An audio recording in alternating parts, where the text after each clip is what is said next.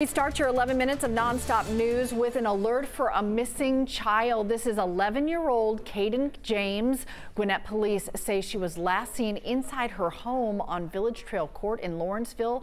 That was yesterday evening. She was also carrying a yellow backpack with flowers on it.